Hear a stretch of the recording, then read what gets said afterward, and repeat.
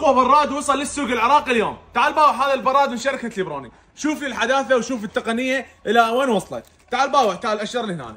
باوع حتسالني وين أخلي الدبة مال المي؟ الدبة مال المي RO اللي اشتريها ب 1000 دينار وين أخليها؟ أقول لك حبيبي هذا ما بي ما بي دبة مي. تعال باوع هنا تعال باوع تعال شوف. حجي هذا شنو؟ هذا يجيك فلتر. يجي بيه فلتر هذا من البوري مال إسالة قبل للبراد. تربطه بالصوندات وهذه البواري اللي تشد بيها الصونده مال الفلتر. والفلتر مالته يجي بتنقية سبع مراحل. إيش قد؟ سبع مراحل تنقية للمي. أيضا تعال حول لي هنا على الشاشة.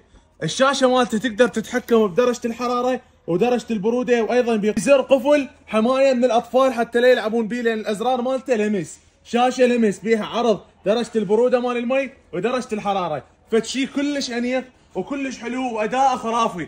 ولا تنسى فلتر مي. يعني تربطه قبل من الإسالة بدون بدون دبة بدون هاي مال ماي RO. قبل من الإسالة من الماطور للبراد. فشي كلش خرافي واداءه كلش قوي وكلش حلو. برودة المي توصل العشرة سيليزية وأيضا درجة الحرارة توصل 90 يعني درجة غليان المي 100 هذا البراد القوي والخرافي ينطيك 90 درجة حرارة للمي يعني أقل من الغليان ب 10 والهيكل مالته من البلاستيك القوي وأيضا الأحواض الداخلية.